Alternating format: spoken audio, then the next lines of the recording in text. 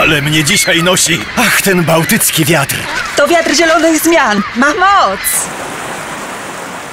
U mnie się kręci, że hu hu. Ach, tutaj też najlepiej pod słońcem.